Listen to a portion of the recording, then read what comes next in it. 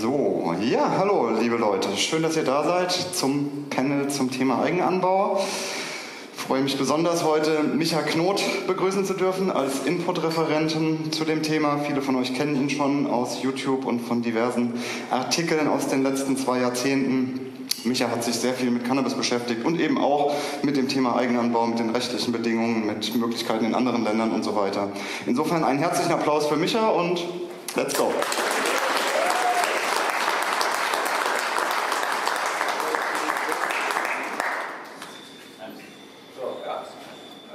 Mikro? Ah ja, danke schön.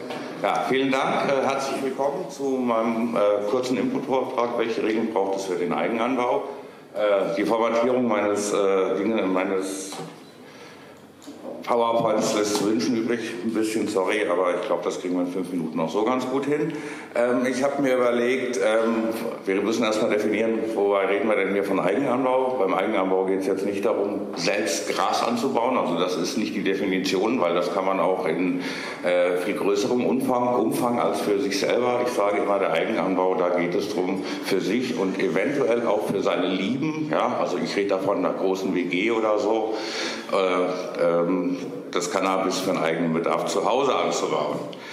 Ähm, nun ist es aber leider so, dass die Übergänge zwischen dem kommerziellen und dem privaten Anbau relativ unklar sind. Da gibt es also leider auch keine Rechtsdefinition.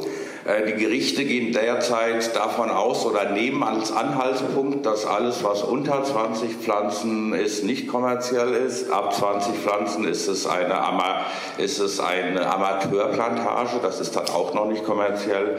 Von 100 bis zu 1000 Pflanzen wird diese äh, Anlage dann als halbkommerziell angesehen. Und wer mehr als 1000 Pflanzen zu Hause hat, der wird äh, meistens als kommerzieller Grower eingestuft. Wobei man sagen muss, das ist halt in keinem Gesetz verankert. Das äh, ist eher ein Anhaltspunkt für die Gerichte und für die Polizei. Aber meistens kommt es dann auch auf die Auffindeumstände und auf andere Dinge an, äh, auf die Beweggründe des Anbaus, ob ein Verkauf nachgewiesen wurde und so. Aber grundsätzlich ist es halt eine sehr klare, also eine sehr unklare Rechtsdefinition, wovon wir hier beim Eigenanbau reden. Und das, äh, deswegen kann man halt auch nicht sagen, dass die, äh, äh, oder kann man sagen, dass die meisten Plantagen, über die man in der Zeitung immer so liest, ja, dass die Polizei wieder eine Cannabisplantage gefunden hat. Da handelt es sich gar nicht um Cannabisplantagen. Ähm, die letzten Zahlen dazu wurden auch erst äh, wurden 2017 im äh, Lage, äh, Lagebild-Rauschgift des BKA äh, veröffentlicht. Da wurde dann auch klar, dass ein Großteil, damals waren es zehn von insgesamt 600 168 Anlagen äh, zu dieser Zeit äh, kommerziell waren. Alle anderen, alle anderen Anlagen, die damals gefunden wurden, waren halt nicht kommerziell oder nur semi-kommerziell. Äh, der größten Anteil haben die Anlagen unter 100 Pflanzen dargestellt. Das waren über 600 und ähm, Seit 2018 hat das BKA dann im Lagebild Rauschgift aufgehört, äh, da genauer zu unterscheiden. Da seitdem werden nur noch die ganz großen Fische als Präzedenzfälle eingeführt. Äh, ich sage mal, BKA sagt, sie haben das wegen einer Systemumstellung so gemacht, also dass sie die kleinen Anlagen nicht mehr erwähnen. Ich äh, vermute eher, das ist halt äh, ja auch zum, zu, in der derzeitigen politischen Lage äh, ist es halt kein Ruhmesblatt fürs BKA, wenn die, äh, weißt, also die, die, die größten äh, Verhandlungsaktivitäten dann halt kleine Grauer betreffen. Kann man aber im Rauschgiftlagebild seit 2010, 2009 kann man das jedes Jahr nachlesen. Also es, äh, die meisten Plantagen Plantagen, die gefunden werden, sind gar keine. So. Äh, dann wird der Eigenanbau natürlich im Vergleich zu Konsum- und Besitzdelikten sehr hart bestraft, weil die Vorratshaltung beim Eigenanbau natürlich unvermeidbar ist. Ja, das ist anders, als wenn man sich ab und zu mal was zu rauchen kauft, äh, ist aber rechtlich besonders für die Eigenanbauer, sprich für die Konsumenten, die das zum Eigenanbau machen, dann natürlich sehr nachteilig, weil ohne Vorratshaltung funktioniert der Eigenanbau nicht. Deswegen äh, darf man in Ländern, wo der Eigenanbau reguliert ist, dann halt auch ein bisschen mehr zu Hause rumliegen haben. Da komme ich aber gleich noch mal zu. Und äh, was halt auch noch in meinen Augen ein wenig problematisch ist, es gibt viel Indoor-Anbau aufgrund der bestehenden Gesetzeslage, weil es einfach verboten ist. Äh, Outdoor traut sich kaum jemand anzubauen und so kann man eigentlich sagen, der ganze Indoor-Bereich hat sich nur entwickelt, weil Cannabis verboten wurde. Kein Mensch wäre ohne das Cannabis-Verbot darauf gekommen, Cannabis jemals Indoor anzubauen. Und äh, das halte ich wiederum für problematisch, weil äh, wir reden gerade von Energiesparen, wir reden von der Energiekrise, wir reden von Nachhaltigkeit jeden Tag. Und äh, kaum einer weiß, wie schädlich der Indoor-Anbau ist. Und äh, ich habe jetzt mal ein paar Zahlen euch mitgebracht. Warten mal, klicke ich mal kurz weiter. So könnt das vielleicht sehen oben, ja, also ein Gramm Cannabis braucht zwischen 0,5 und ein Kilogramm CO2, das sind drei Kilometer mit dem Benzinauto, eine ganze Ernte, im Durchschnitt 250 Gramm für einen Selbstversorger mit einer kleinen Lampe, braucht also zwischen, je nach Anbauart, ja, je nach Lampe, 120 und 250 Kilogramm CO2. Im Vergleich dazu eine Flasche Bier zwischen, auch je nach Brauart, nach Energieart, zwischen 0,7 und 2,5 Kilogramm CO2. Und was ich eben schon gesagt habe, äh, der Indoor-Anbau äh, Indoor wurde nicht aus ökonomischen Gründen äh, oder agrarwissenschaftlichen Beweggründen erfunden, sondern einfach nur aus Angst vor der Strafverfolgung. Das ist der einzige Grund, warum Cannabis in Hallen angebaut wird. Ja. Normalerweise die ökonomischste Art ist, Cannabis im Gewächshaus anzubauen und in Ländern, wo es im Winter die Beleuchtung nicht ausreicht, werden dann halt ein paar Lampen dazugeschaltet. So. so. Dann, das ist jetzt sozusagen der Status quo, wo wir uns jetzt bewegen. Der zweite Teil, ich habe ja leider nicht viel, viel Zeit, geht darum, äh, warum muss eigentlich Eigenbau oder warum denke ich, dass Eigenanbau als legale Option sein muss? Weil ich denke, dass der Schwarzmarkt unregulierten Anbau, Anbau noch schwerer zu bekämpfen ist.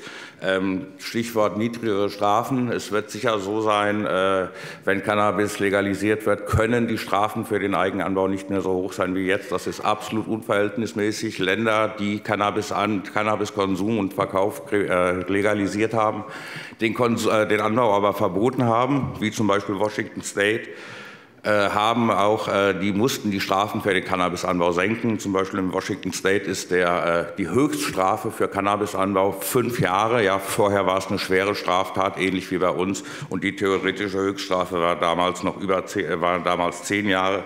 Und grundsätzlich hat sich in Washington State, das nenne ich immer ganz gerne als Beispiel halt gezeigt, dass kleine Grower eigentlich gar nicht mehr strafverfolgt werden, weil die Gerichte dort auch die Möglichkeit haben, die Verfahren einzustellen. Und das hat jetzt dazu geführt, dass in Washington Washington State nach sechs Jahren Eigenanbauverbot das Parlament, das, äh, der Landtag äh, so gesagt hat, okay, ähm, wir machen die Washington Homegrow Bill, die ist jetzt gerade in der ersten Lesung und ich denke, nächstes oder übernächstes Jahr wird auch das, äh, der letzte Bundesstaat in den USA, der den Eigenanbau bei legalem Verkauf verbietet, den Eigenanbau dann auch auf eine Art reguliert haben.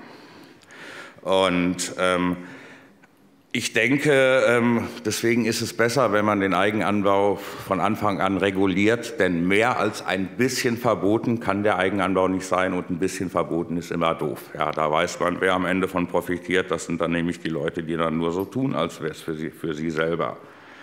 So, jetzt ganz zum Schluss, meine fünf Minuten sind ja schon ganz rum. Ich habe jetzt hier mal äh, die Position vom DHV zum Eigenanbau euch noch mal.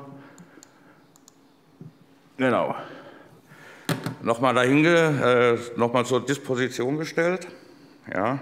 Äh, der, äh, der DAV meint, äh, meint, halt, zur Deckung des eigenen Konsums sollte der Erwerb einer besonderen Lizenz ohne Zahlung von Steuern legal möglich sein.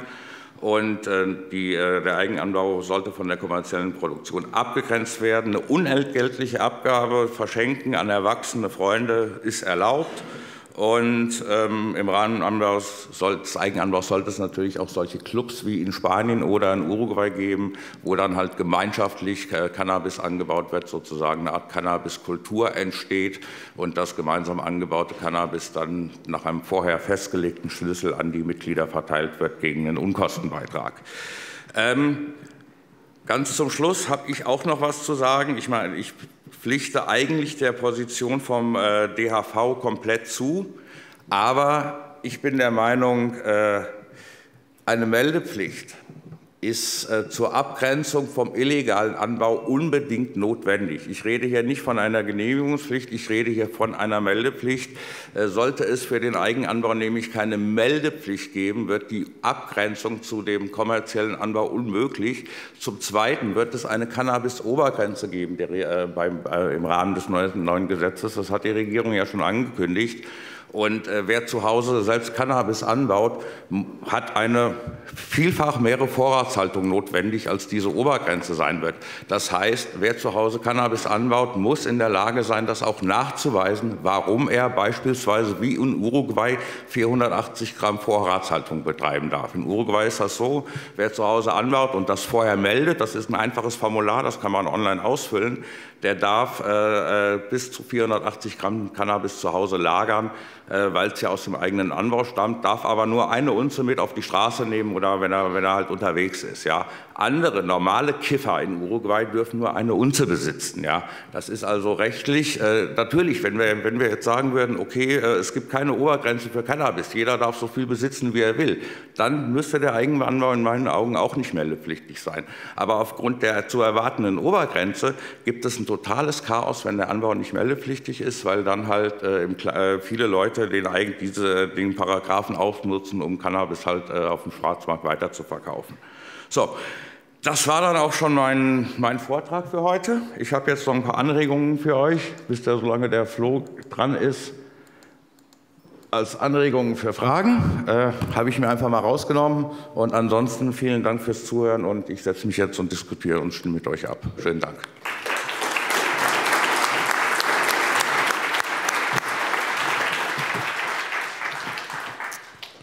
Super, vielen Dank, Micha, für diesen Input.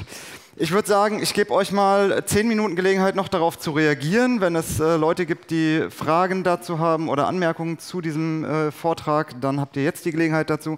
Danach werden wir uns gezielt den Fragen widmen, die wir eben äh, vorher rauskristallisiert haben, die aus unserer Sicht naheliegend sind und diese einzeln besprechen. Also, gibt es Leute, die jetzt schon reagieren wollen? Okay, hier vorne haben wir jemanden, der das Mikro äh, transportiert. Haben wir nicht. Christian, ich habe dich gesehen vorhin. Du bist doch, du bist doch erfahren. Du bist doch unser Profi in diesem Bereich. Von daher äh, tausend Dank, dass du diesen Job jetzt so spontan übernimmst. Ähm, okay, machen wir erst Simon und danach die Dame hier vorne. Ja. Ja. Hallo, ich bin Simon und meine Fra Frage geht auch dahingehend, wie wir das machen, wenn noch Pflanzen im Anbau sind und schon Blüten getrocknet sind. Wie ist das mit der Menge? Weil auch bei Bier ist es ja so, dass ich glaube 200 Liter die Höchstgrenze sind. Das heißt, es würde durchaus Sinn machen, auch bei Cannabis, gerade am Anfang der Legalisierung im Eigenanbau, eine feste Menge festzulegen. Aber wie machen wir das dann? Gerade Bier ist ja schnell gebaut, bei Cannabis sind es ja drei, vier Monate. Und in welchem Stadium gilt dann welche Menge? Mhm. Hier vorne die Dame.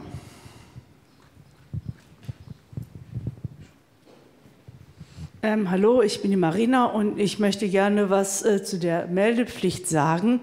Ähm, kann ich äh, gut nachvollziehen, aber andererseits kann ich mir auch vorstellen, dass das nicht besonders gut ankommt. Ich denke, es wird Leute geben, die Bedenken haben und sagen, na ja, wenn die Regierung sich es anders überlegt und es wieder verbietet, dann wissen sie ja, wo sie gucken müssen. Ja, das sind meine Bedenken dazu. Das war auch meine erste Reaktion auf Micha, dass es sicherlich in den ersten Jahren nach einer Legalisierung bei ganz vielen Leuten erstmal Ängste geben wird, mit Behörden in Kontakt zu treten, sich da zu outen quasi.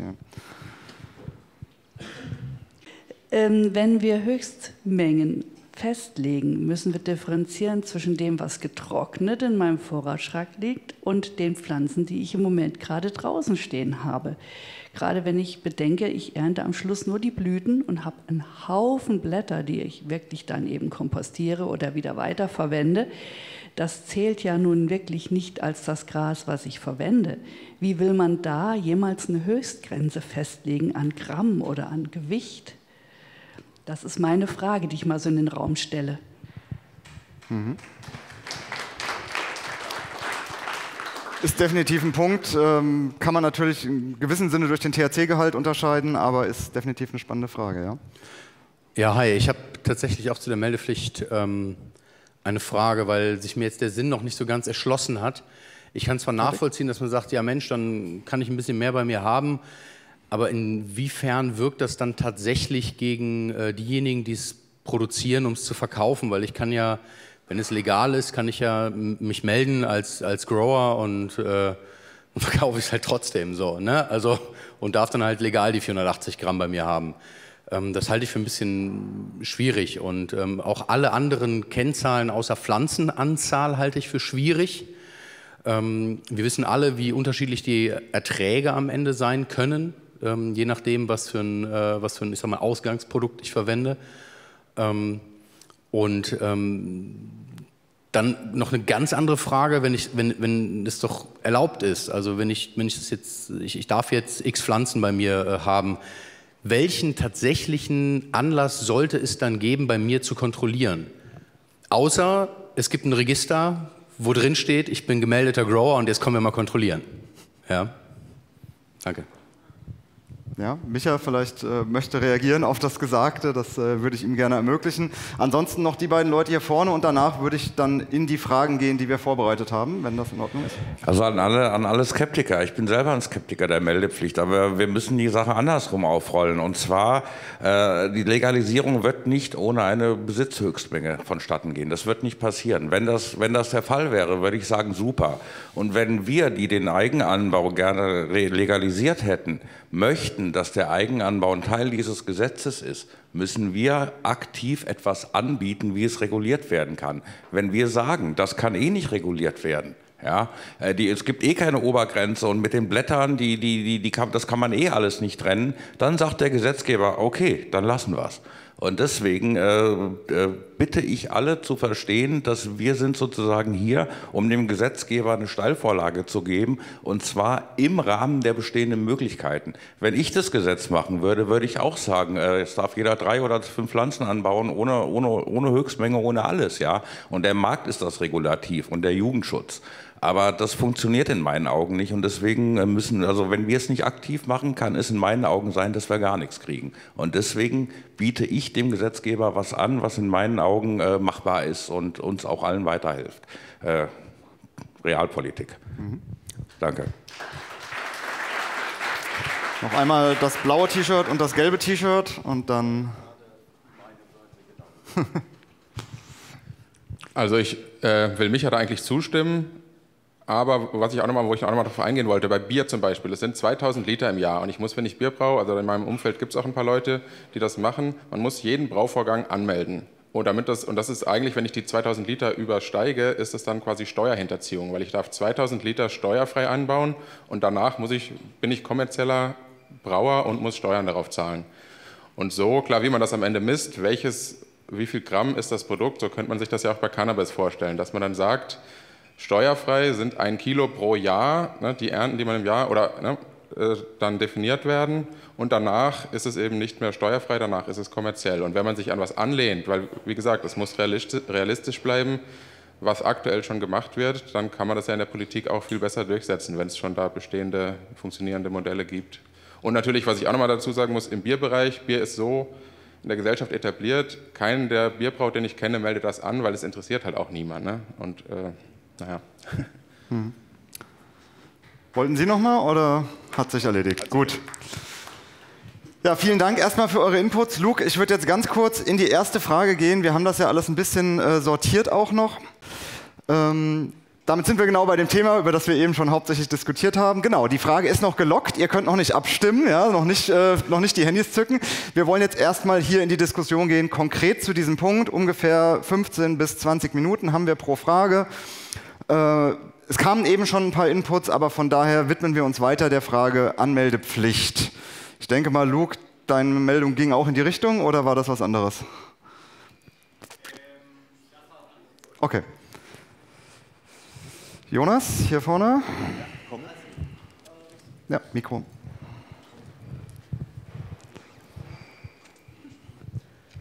Also ich muss sagen, als ich das jetzt gerade gehört habe, Anmeldepflicht, hat sich erstmal in mir das ziemlich gesträubt. Das ist irgendwie so entgegen aller Instinkte. Aber die Argumente waren auf jeden Fall überzeugend, finde ich. Ähm, man müsste definitiv differenzieren in einer Höchstmenge, denke ich, wenn man eine Höchstmenge haben will, mit der man einen Verkauf verhindern will von Privatpersonen, äh, dann braucht man eine Höchstmenge, die differenziert zwischen Growern und äh, normalen Konsumenten. Und es lässt sich wirklich nur mit einer äh, Anmeldepflicht umsetzen. Das äh, sehe ich auch so. Problem dabei ist natürlich, wenn man das anmeldet, kann natürlich theoretisch auch einmal eine Anmeldung stattfinden und dann stellt sich trotzdem das ganze Zimmer voll, aber kann im Zweifelsfall nachweisen, ich mache das angemeldet. Das heißt, sofern man keine Kontrollen durchführt, wäre das Ganze irgendwie ein zahnloser Tiger gefühlt, weil man, äh, ja, ist klar. Ähm, genau, und zum Thema von wegen dann, äh, wenn der Staat sich anders überlegt, wissen sie ja gleich, wo sie nachgucken können, wer was hat zu Hause. Da denke ich mal, ich bin nicht ganz so technisch drin, aber ich wäre relativ sicher, dass es da eine Möglichkeit gäbe, dass irgendwie mit äh, Verschlüsselungstechnologien man sozusagen keinen direkten persönlichen Bezug herstellen kann, dass bei Person X jetzt aus dem Register heraus Pflanzen stehen, aber dass Person X im Zweifelsfall nachweisen kann, dass sie das äh, da angemeldet hat. Ich denke mal, da müssten natürlich Informatiker sich eher überlegen, wie das genau funktionieren könnte, aber das wäre, glaube ich, prinzipiell machbar irgendwie. Genau, das war es soweit erstmal. Also ich muss auch sagen, ich habe da keine eindeutige Meinung zu bisher. Ist ein zweischneidiges Schwert. Mhm. Ja, Dirk, dann Lukas. Ja, hallo Dirk. Ähm, ich ich finde die Meldepflicht grundsätzlich schön. Ich träume davon, irgendwann mal legal anbauen zu dürfen. Und wenn ich dann halt mich online registrieren muss dafür, dann ist es für mich eine Rechtssicherheit, eben gerade in einem Rahmen, wo wir sagen, es gibt eine Höchstmenge, jetzt vor allen Dingen in den ersten Jahren einer Legalisierung und dann trotzdem rechtssicher anbauen zu können und sagen zu können, ja, ich habe mich angemeldet, das ist wie wenn ich Imker bin oder sonst was eben, das ist ein ganz normaler Prozess. Das Schöne daran ist ja erstmal, eben, es folgt ja daraus keine Überprüfung, soweit ich das zumindest mal sagen würde, das fände ich wichtig, dass da jetzt nicht irgendwie die Behörden kommen und jedes Jahr einmal reinkommen zu Hause und das ist eine Anmeldung, damit ist es erfolgt und damit ist gut. Und damit habe ich die Sicherheit, wenn irgendein Nachbar mich anzeigt, dann können die Behörden gucken, sagen, nö, der ist angemeldet, braucht man nicht hin. Props gelutscht. Ähm, von daher finde ich die Meldepflicht grundsätzlich super. Ich habe auch genug Vertrauen in unseren Staat, weil wir zum Glück nicht in China oder sonstiges leben, dass dann meine Daten nicht missbräuchlich verwendet werden, wenn sich der gesetzliche Wind mal wieder ändert. Mhm. Da habe ich zumindest mal genug Vertrauen rein. Ähm, kann ich auch falsch liegen oder nicht. Deswegen finde ich es einen schönen Ansatz, den Eigenanbau zu ermöglichen. Denn meine große Angst, und die habe ich auch wirklich immer noch, ist, dass der Gesetzgeber aufgrund der Komplexität des Themas den gesetzlichen Schwanz einzieht und es nicht macht. Und das wäre für uns alle ein riesengroßer Nachteil. Mhm, danke. Lukas? Ähm, ich würde auch nochmal die Lanze brechen für eine Meldepflicht, weil ich sehe da viele, viele Vorteile äh, drin. Einmal ist natürlich der Punkt der Menge, die ich dann zu Hause habe, die über eine gewisse Menge geht, die ich sonst haben dürfte. Der zweite Punkt, ich könnte im gleichen Atemzug auch Sachen wie einen Social Club ermöglichen, indem ich halt eine persönliche Menge habe, die ich anbauen darf, sei es ein Quadratmeter, sei das äh, eine Wattzahl, was auch immer, die ich entweder zu Hause nutzen kann oder eben diese auch weiter abgeben kann. Und es muss ja irgendwo registriert sein, äh, wo ist meine Menge hin mache ich die jetzt zu Hause oder mache ich die in einem Social Club? Und so haben wir wirklich ein Regulativ, äh, wenn das jetzt noch die Finanzbehörde am Ende kriegt, dann interessiert die sich eh nicht für Strafverfolgung, die will nur Geld sehen. Äh, da habe ich auch keinen Zweifel daran, dass das missbräuchlich genutzt wird. Mhm. Danke. Wir haben nochmal ein eigenes Panel zum Thema Social Club, aber es ist definitiv eine spannende Frage. Wenn man zu Hause anbauen darf und im Social Club, dann hat man ja die doppelte Menge quasi. Ja. Micha? Ja.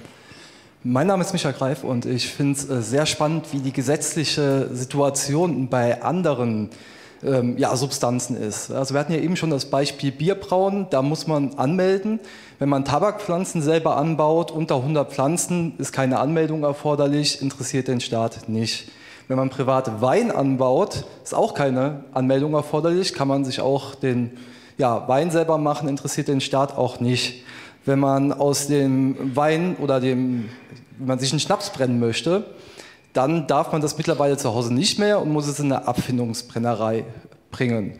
Und ähm, wie manche vielleicht auch wissen, gibt es auch andere psychoaktive Pflanzen, die jetzt nicht im, ja, wie soll ich sagen, im klassischen Schema sehr bekannt sind, aber die auch zum Rausch durchaus taugen und äh, dementsprechend verwendet werden können. Und äh, da gibt es auch äh, keine Regulierung, sobald der, äh, solange der Anbau nicht offiziell zu Rauschzwecken, was heißt offiziell, solange der Anbau nicht zu Rauschzwecken erfüllt, äh, erfolgt sozusagen. Also das wollte ich nur mal so als Hinweis geben, um das Ganze ein bisschen einzuordnen, weil es ja dann sehr spannend ist, wie geht man mit welcher Substanz um, wie viel Kontrolle soll sein und ähm, da bin ich auf jeden Fall auch auf weitere Meinungen jetzt noch gespannt. Ja, danke für den professionellen Input und den Background. Genau, einmal hier, gelbes T-Shirt und dann haben wir auf der linken Seite zwei noch. Ich bin wie, die, Entschuldigung, ich bin wie die meisten Leute einverstanden, dass es eine Meldepflicht geben sollte, um einfach sich selbst zu schützen. Allerdings, mir wäre es wichtig, dass der Meldepflicht oder der Meldung nicht bei der Polizei passiert, sondern bei einer anderen Organisation. Hm.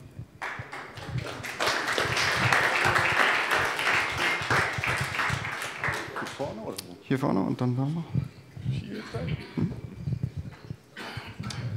Ja, Hallöchen, äh, mein Name ist Christian und ich bin absolut gegen eine Meldepflicht. Warum? Wenn, man, muss ja, man muss ja irgendwo, äh, weil das wäre ja, ich glaube, dass äh, das Problem ist, wenn man dagegen verstößt, ist es, glaube ich, äh, sagen wir mal, äh, ein Verstoß gegen die Steuergesetze. Und die werden ja Sie mal, ziemlich äh, knallhart äh, bestraft hier in diesem Land.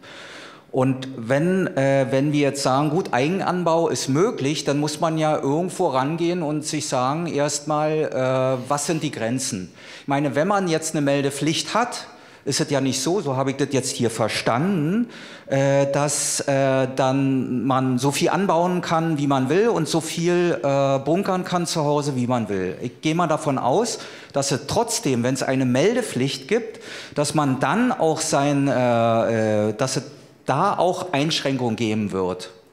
Nehme ich mal an. So, was ist der Unterschied zwischen, wenn ich jetzt eine Vorgabe habe vom Staat, dass ich nur drei Pflanzen anbauen darf, 1000 Gramm äh, zu Hause bunkern darf, warum muss ich mich dann noch zusätzlich dafür melden? Weil ich habe doch die Vorgabe und man kann jederzeit kontrollieren, bei mir zu Hause, wenn vier Pflanzen nur möglich sind, dass auch nur vier Pflanzen da sind, falls ein, äh, lieber Nachbar äh, aufmerksam geworden ist und das der Polizei gemeldet hat, dann kann ich auch immer noch nachweisen, dass ich zu Hause nur 1000 Gramm habe oder weniger. Warum muss ich mich melden? Ich kann das verstehen vom Staat her, dass er sagt, oh, wir müssen das jetzt mal irgendwie kontrollieren. Gut, dann ist man jetzt irgendwo gemeldet und ich sage voraus, dass äh, die ähm, politischen Systeme auf dieser Welt nicht besser werden, sondern restriktiver werden. Und ich kann nicht sagen, was in zehn Jahren ist in der Bundesrepublik ob die nicht die Systeme von, äh, von China übernehmen. Gut, man mag mir vielleicht vorwerfen, dass ich vielleicht negativ denke und vielleicht, aber ich sage immer, wehret den Anfängen.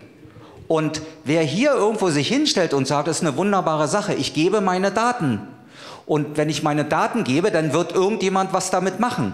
Und wenn jemand zu mir kommt und sagt, gut, okay, wir haben Grenzen und äh, äh, diese Grenzen werden von mir eingehalten und das ist sozusagen eine... Ähm, eine äh, äh Verpflichtung von mir als Bundesbürger. Ich sage, weil ich die Gesetze einhalte, ich halte mich da dran. Warum muss ich noch irgendwas melden, für mich ist es nicht gesetzessicher. Gesetzessicher bin ich dann, wenn ich nicht mehr als 130 fahre, wenn 130 dran steht. Ich muss das nicht auch melden, dass ich jetzt heute 100, mehr als 130 Stundenkilometer oder ich werde jetzt heute 130 Stundenkilometer fahren und diese 130 Stundenkilometer werde ich auch einhalten. Da muss ich hm. auch nicht melden. Also das Argument von Micha war ja, wir wollen über die Eigenbedarfsmenge hinausgehen, die man unterwegs transportieren kann, 30, 50 Gramm. Wir wollen vielleicht ein Kilo zu Hause lagern dürfen ja. und dafür brauchen wir eine Anmeldung, um das rechtlich abzusichern. Da hinten, äh, Luke, der Mann mit dem Hut.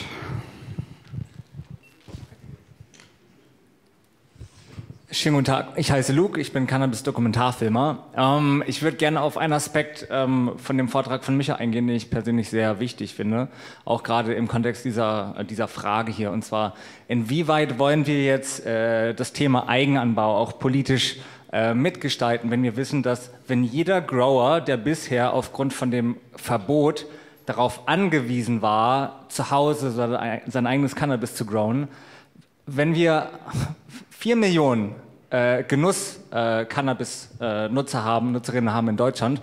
Vier Millionen Equipments für ein Homegrow, das ist so viel Überfluss, den wir eigentlich gar nicht bräuchten, wenn wir den Anbau in Hände von Menschen begeben, die mit Liebe und äh, ohne Pestizide und ohne Chemie äh, Pflanzen für einen viel günstigeren, äh, viel für uns persönlich weniger ähm, Aufwand, das in ihre eigenen Hände nehmen. Wenn wir jetzt zum Beispiel von Biolandwirten sprechen oder von Cannabis Social Club Modellen.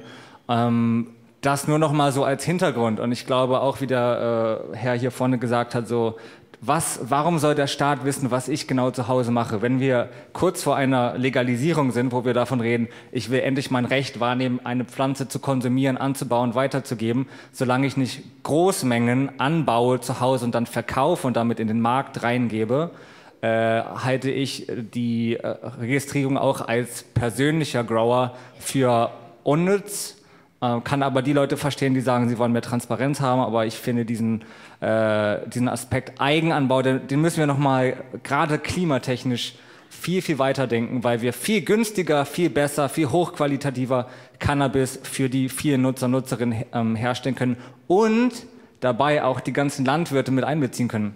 Weil wir haben hier eine, eine, eine Landwirtschaftskrise und ich glaube, Cannabis äh, kann nicht nur diesen Recreational-Bereich mitformen, sondern kann auch ganz viele andere positive Aspekte mit sich bringen, die wir bisher noch in den meisten Konversationen außer Acht lassen. Mhm. Ja. ja erstmal hier und dann ganz hinten links noch. Genau, ich habe mich gar nicht vorgestellt, fällt mir ein. Ich bin Jonas von der Berliner Ortsgruppe und habe noch ein paar Argumente für beide Seiten tatsächlich. Was für eine Meldepflicht noch sprechen würde, ist der Vorteil, aktuell haben wir die Situation, dadurch, dass alle Leute, die Cannabis anbauen, das illegal tun oder nahezu alle, sind sie im Grunde genommen vogelfrei sozusagen. Das heißt, wenn ich weiß, Person X baut was zu Hause an und hat da so und so viele Pflanzen, kann ich einfach bei ihr einbrechen nachts, sie bedrohen, ihr den Kram klauen und weiß ganz genau, sie geht nicht zur Polizei, weil sie dann in den Bau wandert dafür. Das könnte man natürlich mit einer Meldepflicht auch an Sicherheit schaffen sozusagen, dass es eventuell die Möglichkeit gäbe, optional freiwillig äh, den Gore sozusagen mit ein paar Bildern ab und zu zu dokumentieren, dass man auch nachweisen könnte, ich hatte diese Pflanzen und die hat mir der und der geklaut. Oder dass es irgendwas passiert, so dass man, oder meinetwegen auch im Garten, dass äh, ich einfach nachweisen kann, ich hatte hier was und man zumindest eine gewisse Sicherheit für die Grower schafft. Das auch. Versicherung sagt mich ja gerade Wasserschaden. Ähm, genau, das war der eine Punkt, was dagegen sprechen würde natürlich. Also wie gesagt, wenn man es nicht kontrolliert, ist es sinnlos eigentlich. Wenn man es kontrolliert, wäre es aber auch blöd, weil wenn man es angekündigt macht, ist auch auch äh, unsinnig. Wenn man es unangekündigt macht, ich, stelle ich mir diese un sehr unangenehme Situation vor, dass ich gerade total stoned zu Hause auf dem Sofa liege, mir irgendeinen fetten Edible reingeballert äh, reinge habe und dann plötzlich ein paar Beamte vor meiner Tür stehen und plötzlich mein Gore sehen wollen. Auch eine sehr unangenehme Sache, würde ich auch nicht haben wollen. Und abschließender Punkt noch ist natürlich auch dann die Frage, wenn ich, wenn ich jetzt in einem Haushalt lebe mit mehreren Personen, die alle erwachsen sind und alle ihre Pflanzenanzahl haben dürfen, ist es sinnlos, wenn sich jeder einen eigenen Schrank ins Zimmer stellen muss, auch auf das Argument vorhin Bezug nehmen, von wegen, das ist ja massiv Equipment und äh, schlechte Effizienz, das man dadurch hat. Deswegen ist es sinnvoll, wenn ich für meine Leute in derselben Wohnung das Zeug mit anbauen darf. Da ist natürlich die Frage, wo zieht man die Grenze? Darf ich noch für meine Familienmitglieder außerhalb des Haushalts anbauen? Eventuell noch für gute Freunde, weil einfach ich der Beste wäre, der es am besten kann. Und die anderen sagen, ich lasse es lieber Jonas machen. Könnte man dann natürlich auch nur dadurch ermöglichen, dass man das anmeldet, meine Pflanzen stehen bei Kumpel XY. Dass nicht Kumpel XY mit 100 Pflanzen am Ende sagt, ja, dem gehören drei, dem drei, dem drei, dem drei. So, damit bin ich fertig. Dankeschön. Genau.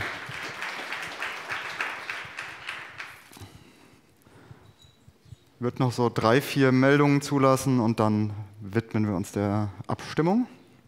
Ähm, ja, ich habe noch mal äh, zu der Registrierung beziehungsweise einen, einen Punkt, der mir ähm, gerade noch durch den Kopf wandert. Wir haben jetzt so ein paar Argumente gehört, die, ähm, die jetzt für eine Registrierung sprechen. Und das sind alles Argumente, die dem Grower einen Mehrwert bieten sollen. Und ähm, tatsächlich ist doch die Frage, wenn wir jetzt in, auf einer politischen Ebene irgendwie da über, ähm, über irgendwelche ähm, Rahmenbedingungen ähm, diskutieren möchten, ist ja die Frage, was bringt das jetzt dem Gesetzgeber? Ja? Und ähm, der Gesetzgeber hat doch dem Grunde nach ein Interesse daran zu sagen, passt auf, eine gewisse Pflanzenanzahl oder Quadratmeteranzahl ist mir völlig wurscht, aber das ist, das ist die höchste Menge, die du haben darfst. Und wir sind ja dem Grunde nach irgendwie so ein bisschen souverän, ja. Und ähm, dann, dann, dann fände ich es völlig legitim zu sagen, wir haben Rahmenbedingungen, an die hält sich jeder, so wie wir das in anderen Zusammenhängen auch haben. Und äh, die, die sich nicht dran halten, die werden gegebenenfalls auffallen oder auch nicht, so wie wir das in anderen Verhältnissen haben. Und ähm, wir haben keinen, keine, also ich habe jetzt noch keinen sinnstiftenden Mehrbeitrag aus dieser Registrierung ähm, wahrnehmen können, außer ich schütze mich davor, dass mich irgendeiner anzeigt. Ja? Also wenn ich grundsätzlich sage, x Pflanzen sind erlaubt mit einer gewissen Höchstmenge und das darf jeder, ohne sich zu registrieren, habe ich genau denselben Effekt, wie wenn jemand registriert. Mhm. Eins, zwei, drei, vier, fünf und danach machen wir zu. Ja. Ja, hallo, ich bin der Andrew aus Regensburg. Äh, mir ist nur eins äh, irgendwie gerade gekommen. Es sind irgendwie in Kanada, glaube ich, momentan 15 Prozent aller Konsumenten, die wirklich selber anbauen. Bei 4 Millionen Konsumenten in Deutschland sind es praktisch 60.000 Leute. Ja, die kann der Staat locker kontrollieren, ohne dass er irgendwie registriert sein muss. Die 60.000 Leute bauen halt vielleicht eine, eine Pflanze mehr oder zwei. Na und? Wo das ist sind das 600. Es werden nicht, hä, bitte? 600.000, Entschuldigung, nicht 60, 600.000 natürlich, aber das ist ja auch keine riesen Leute, Anzahl Leuten, die da kontrolliert werden müssen, muss ich sagen. Das kann man doch außen vor lassen. Diese 15 Prozent, die selber anbauen, muss man die wirklich alle melden? Das ist doch ein Schmarrn. Äh, da hinten der Herr hatte sich noch gemeldet mit dem Hemd. Schon länger auch. Ach, sorry. Ich meine, es wurde jetzt hier gesagt, dass ähm, wir dem Staat vertrauen können, von wegen, dass da die Daten nicht, missbraucht werden und so. Aber ich sage nur, es ist nie gut, wenn Leute auf eine Liste geschrieben werden. Ähm, das ist meine Meinung, deswegen bin ich absolut gegen die Re Registrierung. Und was ich noch sagen wollte, allgemein zum schon mal nachdenken, wie gehen wir eigentlich mit dem Argument der Gegenseite um, die dann sagen wird, wenn wir Eigen anbauen, dann haben wir weniger Steuereinnahmen. Mhm. Genau, hier und dann noch hier vorne zwei und ich würde Hallo, dann äh, Marschung, mein Name. Entschuldigung, ich werde jetzt einmal um das Silenzium bitten müssen. Danke. Und zwar folgendes, ich habe eine Meinung, da wird man mich wahrscheinlich für schlagen, aber ich bin gegen Eigenanbau. Ganz ehrlich, der Kollege hinten hat das gesagt, worum geht das hier? Es geht hier darum, Steuern zu generieren und den Schwarzmarkt ähm, zu unterbinden. Und das kann man am einfachsten, meiner Meinung nach, nur dann, wenn Eigenanbau nicht erlaubt ist. Weil, weil nämlich, wie, wie will man denn die Höchstmengen kontrollieren? Wie will man wie will man andere Aspekte kontrollieren, definieren? Man macht nur neue Baustellen auf. Ja, dann heißt das, der eine hat ein Gramm zu viel angebaut, dann heißt das, der hat 0,2 Prozent THC zu viel und, und, und, und. Nur neue Baustellen, nur neue Laberei, kein Eigenanbau, da müssen die 60.000 Leute halt ähm, oder 600.000 Leute dann haben Pech und äh, kaufen sich ihren Shit im Laden und fertig. Und ähm, ich bin dann auch der Meinung, dass man das gleich bei dem Anbauer besteuern muss, in Pakete einpacken, ähnlich wie Zigaretten mit Steuerbanderolen und jeder kann so viel mitschleppen, wie er will. Ganz einfach halten. Und dann kann man irgendwann vielleicht nochmal meinetwegen, wenn das so läuft, ähm, den Eigenanbau legalisieren und wie man das dann macht, kann man sich immer noch streiten. Also das sind für mich hier Pseudo-Baustellen, die dann nochmal neu aufgemacht werden. Und ähm, ja, nee, das ist kein Schmarrn. Ja, danke für den Input. Äh, bitte keine Flaschen werfen, ja, ganz ruhig. Ähm, wir haben tatsächlich überlegt, das auch, oder ich habe überlegt, das als erste Frage mit reinzunehmen. Gibt es hier Leute, die gegen den Eigenanbau sind? Wir sind davon ausgegangen, dass hier niemand sein würde. Insofern schön, dass wir heterogen sind, dass wir divers aufgestellt sind. Das ist auch gut.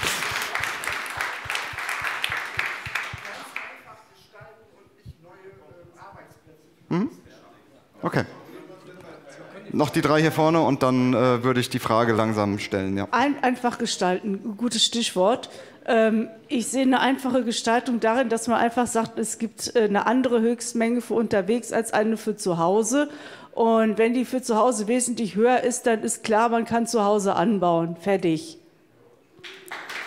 Vielleicht erst Dirk und dann. Ähm, ach so, und ich wollte jetzt noch darauf eingehen. Ähm, ich sehe nicht, äh, dass Eigenanbau irgendwie äh, äh, äh, die anderen Geschäfte gefährdet, äh, denn die Leute, die Eigen anbauen, die werden trotzdem auch zwischendurch mal, keine Ahnung, sich für Ostern oder Weihnachten was Besonderes oder fürs Wochenende was Feines holen. Die wollen auch nicht die ganze Zeit dasselbe rauchen.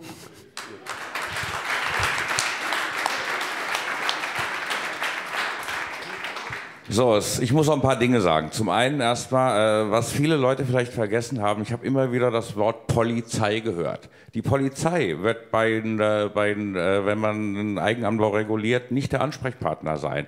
Ähm, was dazu kommt, sobald Cannabis legal ist, wird der Cannabisgeruch kein Grund mehr für eine Hausdurchsuchung sein. Die Polizei kann nicht mehr klopfen und sagen, bei Ihnen riecht es nach Cannabis, bitte lassen Sie mich in die Wohnung.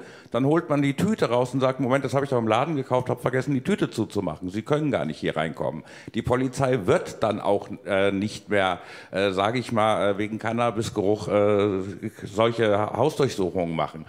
Und ähm, wie gesagt, die Ansprechpartner werden dann eher die Behörden sein. Und eine Behörde geht eigentlich immer davon aus, dass der Bürger compliant ist. Ja? Und äh, das, nur im Ausnahmefall geht eine Behörde davon aus, dass solche Dinge äh, kontrolliert werden müssen. Ja? Es geht da wirklich nur um den Eigenschutz. Es geht darum, wenn man einen Wasserschaden verursacht, dass man zum Beispiel äh, ne, nicht äh, die Wohnung gekündigt kriegt. Ja? Dass wenn der Vermieter mitbekommt, äh, dass man Cannabis anbaut, dass man im, im, Mietvertrag drin bleibt. Ja? Das sind alles Dinge, die können, äh, wenn Cannabisanbau äh, komplett illegal bleibt, wenn wir nicht aktiv den mitregulieren, sind das alles Dinge, die werden weiterhin passieren. Ja? Äh, derzeit ist Cannabisanbau ein Kündigungsgrund, ja, äh, äh, wenn es um, ums Mietrecht geht. Und äh, ich denke, langfristig, äh, viele, haben noch, viele von uns haben noch nicht verstanden, dass die Polizei nicht mehr unser Ansprechpartner sein wird. Ja? Unser Ansprechpartner werden die Behörden sein und die Behörden sind, äh, eigentlich gehen die davon aus, dass der Bürger compliant ist ja? und dass der Bürger das Gesetz nicht bricht, was man ja zum Beispiel auch an den äh, Bierbrauern sieht. Ja? Du hast ja auch gesagt, äh, eigentlich 200 Liter eh, meldet eh keiner an, ja, weil es keinen interessiert und die Behörden kontrollieren das auch nicht so streng. So wird es bei Cannabis dann auch aussehen, ja. Aber wir müssen denen schon was anbieten. Das ist ganz einfach. Und äh, das Letzte, was ich sagen will, äh, in Uruguay funktioniert das Modell übrigens seit neun Jahren. Also das ist für mich auch noch ein sehr starkes Argument. Es gibt ein Land auf der Welt, wo dieses Modell astrein funktioniert. Danke. Ja, also als letzter vielleicht nochmal, für mich ist es auch nicht so, dass ich das total geil finde, sich zu melden für Dinge, die man dann halt macht und dass jeder alles melden muss, die 130 zu melden. Darum geht es nicht. Aber wenn ich eine Höchstmenge habe und wir werden davon ausgehen müssen, dass die Regulierung erstmal so kommt, dass es eine relativ kleine Menge gibt, die als Höchstmenge gilt, die wir Menschen zu Hause haben dürfen oder mit uns rumtragen dürfen. Und wenn ich aber Eigenanbau machen will, dann muss diese Höchstmenge größer sein. Der smarte Weg zu sagen, zu Hause viel mehr zu haben als unterwegs, wäre geil. Dann braucht man das vielleicht gar nicht so ausformulieren. Das glaube ich aber leider nicht, weil die konservativen Stellen in unserem Land zu viel Angst haben und wir dieses Paket also auch mitbieten müssen. Wir werden mit einer Höchstmenge leben müssen. Das wird über die nächsten 20 Jahre aus, rauseitern, aber die wird erstmal da sein. Der Eigenanbau ist günstig, auch wenn er in der CO2-Bilanz vielleicht nicht so super ist, aber er ist echt billig und draußen auf dem Balkon erst recht. Viele Leute haben nicht das Geld, ich weiß nicht, was du verdienst. Viele Leute können sich Gras in der Dispensary oder in der Abgabestelle nicht leisten und wollen trotzdem was kiffen. Und die wollen auch ihr eigenes Zeug kiffen, was nicht so potent ist, sondern was vielleicht genau das ist, was sie lieben. Und das wollen wir alle. Oder ich will es zumindest. Deswegen sehe ich nochmal, es ist ein pragmatischer Ansatz, die Gesellschaft mitzunehmen. Und das ist das, was wir hier ja versuchen, dem DHV mitzugeben, damit das dann als Position von den Politikern, von den Gesetzgebern mitgehört wird. Wenn ich anbaue zu Hause und eben meinen Anbau abgebaut habe und dann ein Kilo rumliegen habe, dann bin ich strafbar, wenn nur 50 Gramm da sind. Das heißt, dieser Anbau immer nachzuweisen, das ist mein eigenes Zeug, das ist im Nachgang schwer. Wenn ich vorher es angemeldet habe, ist es schwer, mir zu beweisen, dass ich das nicht selbst angebaut habe. Deswegen finde ich es eine Rechtssicherheit. Aber ich will nicht sagen, ich habe die Weisheit mit Löffeln gefressen, es ist meine Meinung und meine Erfahrung. Danke.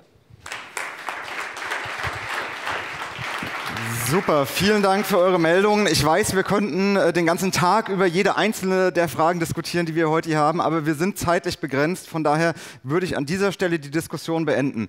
Mir ist jetzt vor allen Dingen hier eins entgegengekommen, was ich in dieser Frage nicht abgedeckt sehe, nämlich die Frage äh, Kontrollen. Wir haben jetzt hier nur Ja, Nein, Anmeldung Ja oder Nein. Es gibt aber tatsächlich auch die Frage, soll mit einer Anmeldung oder könnten mit einer Anmeldung auch Kontrollen zusammenhängen. Von daher ähm, gibt es Gegenstimmen, die der Meinung sind, dass wir das nicht mit als Antwortmöglichkeit hier aufnehmen sollten. Ja, aber nur, wenn es keine Kontrollen gibt. Gibt es jemanden, der das nicht für sinnvoll hält? dann würde ich diese Antwortmöglichkeit hier noch spontan mit einbauen lassen von unserem fleißigen Co-Moderator Henry hier. Yeah. Der schon die ganze Zeit wie wild mittippt, was ihr hier alle sagt. Ja, super, vielen Dank für die tollen Inputs. Und dann gleich eben diese Frage live schalten. Kriegen wir das? Nee, geht nicht? Ja, ah ja, hast du schon. Ah, perfekt. Wahnsinn, das ging ja schnell. Ihr könnt jetzt fleißig abstimmen. Gibt es Leute, die noch scheitern an der Technik? Nein? Alle fertig? Okay, dann können wir jetzt mal das Ergebnis zeigen.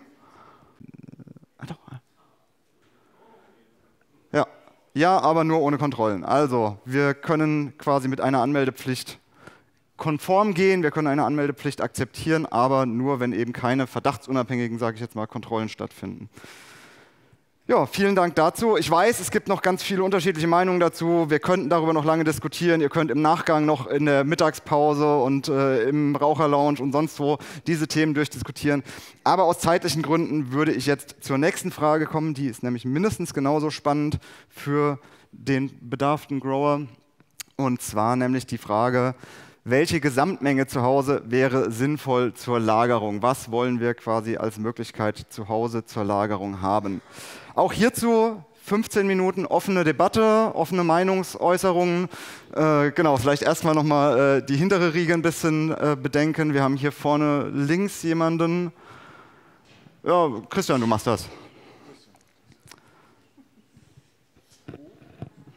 Hier vorne, weißes T-Shirt. Hier rechts war auch noch jemand. Das sind Gramm, genau. Das sind keine Kilos. Ähm, da ist, da ist natürlich erstmal die Frage, wonach definiert man das? Aufs Jahr gerechnet, auf Monat, auf Woche? Weil wenn man aufs Jahr gerechnet mal sagt, okay, man nimmt ein Kilo, ich glaube jetzt nicht, dass da sich irgendwer äh, benachteiligt fühlt, weil wer raucht mehr als drei Gramm am Tag? Also natürlich ich möchte keinem aberkennen, dass er mehr als drei Gramm raucht oder benutzt, aber im Schnitt, glaube ich, sind drei Gramm pro Tag gerechnet ja okay, oder nicht? Was okay ist oder nicht, darüber streiten sich die Geister heute. Ja? Äh, aber das hier ist auf jeden Fall auf Moment X gesehen. Also das ist auf den Moment der Kontrolle, wo äh, das aufgefunden wird, quasi, was da steht, bezogen. Ja, genau, einmal direkt nebendran.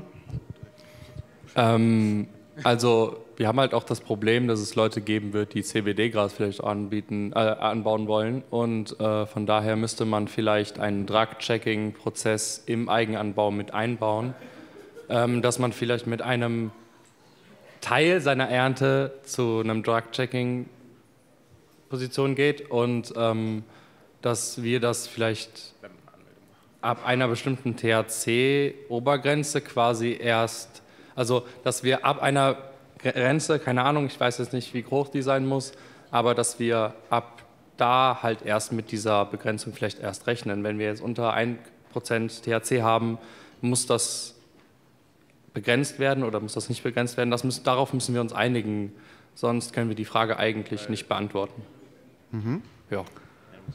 Ist ein interessanter Input. Also wir sind in der Konstruktion der Frage, denke ich, äh, davon ausgegangen, Nutzhanf wird komplett freigegeben. Ne? Äh, also Nutzhanf nach aktueller rechtlicher Handhabung bis 0,3 Prozent äh, kann man quasi völlig unreguliert handhaben als Zierpflanze, was auch immer. Ähm, das ist die Grundannahme. Wenn wir jetzt CBD-Sorten mit 1% oder 2% oder 3%, dann wird die Debatte sehr komplex, würde ich jetzt mal sagen. Von daher würde ich die jetzt nicht aufmachen wollen. Ähm, ja, Hallo, hiervon. es wurde vorhin schon gesagt von Michael, dass Realpolitik wichtig ist in dieser Debatte und ich denke mir, die Frage ist auch ein bisschen mit der Realität mehr oder weniger doch zu verbinden, egal welche willkürliche Zahl man auch nimmt, es wird Leute geben, die drüber sind. Also es, es, ist einfach, wir wissen alle, wenn man eine Pflanze hat und der Boden gut ist und das Jahr gut ist und die Temperatur passt, dann kommt da raus, was rauskommt. Da kann ich als Gärtner nicht großartig viel dazu beitragen und es, die, die Natur macht, was die Natur macht. Ich denke mir deswegen, dass das Einzige, was irgendwie Sinn machen würde, wenn man sagt, man verbindet Homegrow und Gesamtmenge, dass man es halt irgendwie dokumentiert. Wenn ich draußen in einer Saison über den Sommer eine Pflanze habe und das wird ein Monster und ich kriege vier Kilo daraus, dann sollte das doch okay sein. Weil wieso sollte ich die beschneiden müssen, dass ich weniger kriege dann? So, das mache ich ja beim Kürbis auch nicht. Ich schneide auch nicht. So, den will ich nicht, den Kürbis. Ich will alle Kürbisse, ich will alle Gurken. So, ich will auch alle Blüten von meiner Cannabispflanze. Mhm.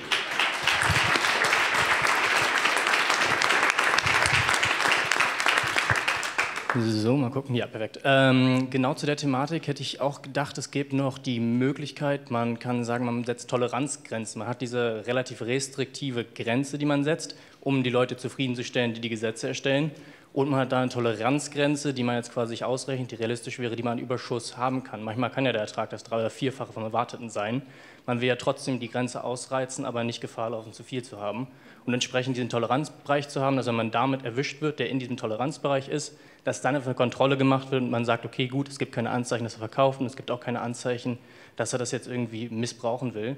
Ähm, dann kann er damit wieder gehen und es gibt gar keinen Prozess darum. Ja, wäre so mein Anreiz dazu.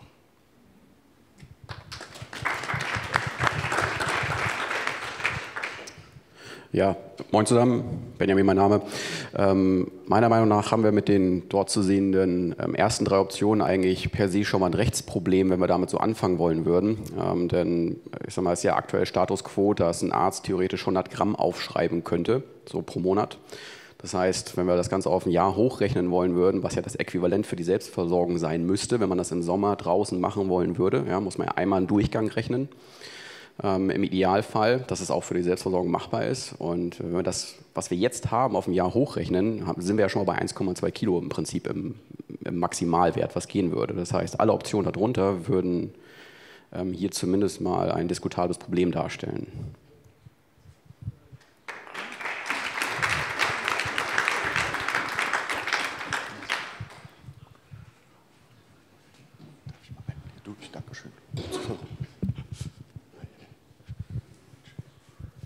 Ich habe tatsächlich eine Verständnisfrage zu den Mengen und zwar ähm, in welchem Zustand? Also gerade frisch geerntet so und zählt jetzt zur Lagerung oder im abschließend getrockneten Zustand mit dem Endgewicht, das es dann haben wird.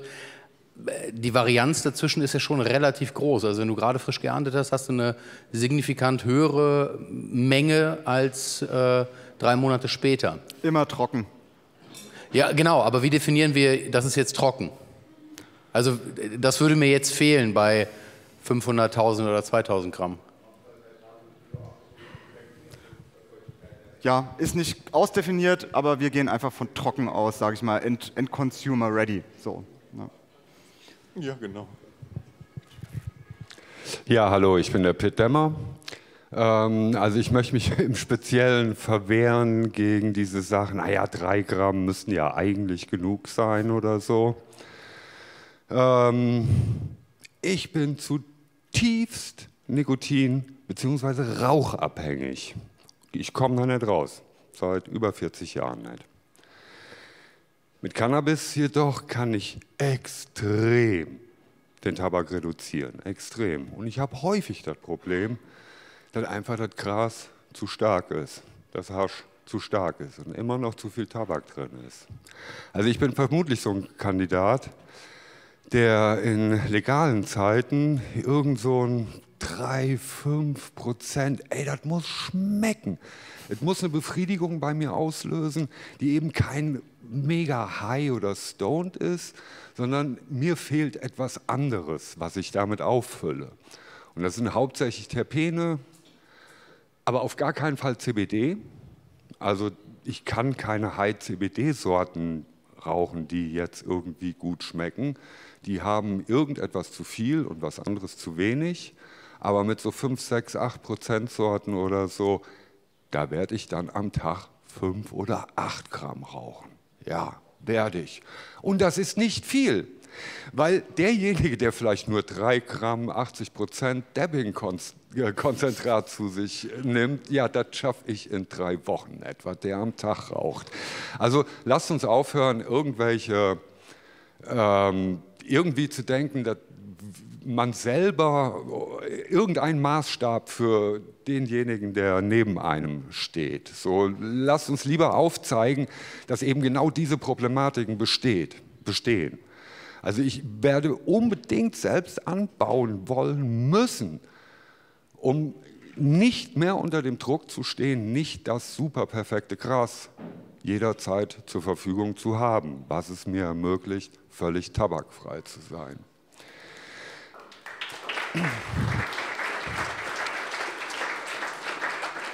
Als, als, als kleinen Abschluss noch, um quasi den Druck aus mir und all den anderen rauszunehmen.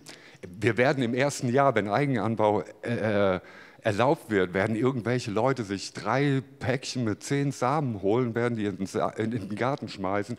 Die werden 10, 15 Kilo über haben, wenn da irgendwas besonders gut läuft. Das Jahr danach sollten die keine 15 Kilo mehr über haben, sondern wissen, okay, das läuft gut bei mir aber so drei Kilo über haben, das ist sowas von normal. Und mit drei Kilo meine ich dann auch furztrockene Blüte und da sind, fallen noch zweieinhalb Kilo allerlei an, wo man schönes Haschig draus machen kann oder Extrakte für Edibles. So, also wir müssen einen Ort schaffen, wo jeder ohne eine Lizenz seinen Überbedarf loswerden kann. Und der Staat glücklich darüber ist, dass er dieses Zeug bekommt. Ich habe dafür ein Modell, will ich aber jetzt nicht weiter drauf eingehen. Ja, danke schön.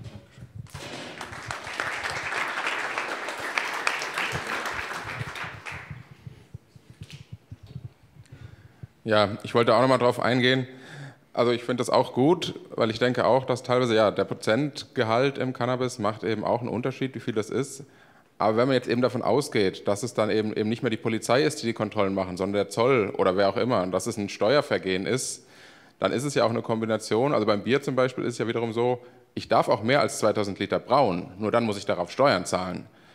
Und dann ist es auch beim Bier genauso. Ne? 4,9% Alkohol sind die Steuern geringer, drüber sind sie höher. Das heißt, dann ist auch davon abhängig, diese, das Bier, was die 2000 Liter überschreitet, was für ein Bier ist es, wie viel Steuern zahle ich darauf?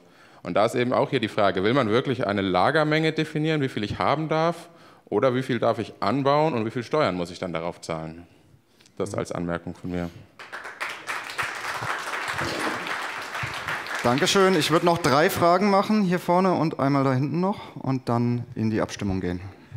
Ähm, ja, also ich habe ja eben im Vortrag auch schon gesagt, ich äh, halte viel von Nachhaltigkeit. Das heißt, ich bin auch dafür, also ganz wichtig, dass man hier den Outdoor-Anbau mit einbezieht. Äh, und da sind wir schon bei Mengen, haben wir eben schon gesagt, die sind schon relativ hoch. Äh, das heißt, äh, auch du hast recht, äh, du, du, hast eben gesagt, äh, man kann jetzt nicht jeden Einzelnen bestimmen, wie viel er raucht, der eine mehr, der andere weniger, klar. Ähm, aber es gibt ja eine Möglichkeit, also ich hätte eine Idee, äh, wie man das regelt, indem man die Überschüsse ja, an Cannabis Social Clubs abgeben darf. Sofern es äh, Cannabis Social Clubs gibt, ja, dann sagt man halt, ich da, äh, man darf maximal so und so viel im Jahr anbauen und wenn man mehr anbaut, muss man entweder Steuern bezahlen drauf oder mehr raucht, Rauchen ist halt teuer, ja. Oder man gibt es halt äh, natürlich in Cannabis Social Club vielleicht dann auch mit dem Labor zusammenarbeiten, dass man das vorher testen lassen kann. Und wenn das dann äh, keine Pestizide und so weiter enthält, wenn es sauber ist, wäre das ja eine Möglichkeit. Ich meine, es ist ja beim Strom ist es ja ähnlich. Es war bis vor 20, 30 Jahren was verboten, selber zu Hause Strom herzustellen und den Strom ins Netz zu speisen. Ja. Heute ist es so, man äh, kraut sich seinen eigenen Strom und äh, wenn man sich zu, wenn man zu viel Strom anbaut, dann haut man den ins Netz und kriegt da noch Knete für. Ja. Alles komplett legal. Und ich denke, das ist eine, das ist eine, langfristige Perspektive, von der man auch die Politik überzeugen kann, dass jeder seinen Eigenbedarf anbaut und dann halt die Überschüsse auch wirklich versteuert an Cannabis Social Club geben darf. Dann haben, das ist eine Win-Win-Situation. Dann freut sich das Finanzamt, die Grauer freuen sich, die Social Clubs freuen sich und keiner begeht mehr eine Straftat. Und deswegen denke ich, ich werde hier die 2000 ankreuzen, damit der Autoanbau halt auch reguliert ist. Ich habe mir, ich habe gerechnet, wie du gesagt hast, anderthalb Kilo kann man schon mal gut rauskriegen kriegen. Dann hat man gerade noch mal 500 Gramm, wenn die dann im Juli, wenn, wenn im Juli mal nachgeguckt wird, der Hanfinspektor kommt, dann hat man da noch 500 Gramm draußen stehen äh, von unfertigen Blüten und dann müssen schon zwei Kilo sein. Ja, aber dann halt parallel eine Regulierung, dass man die Überschüsse dann halt ins öffentliche Cannabisnetz einspeisen darf.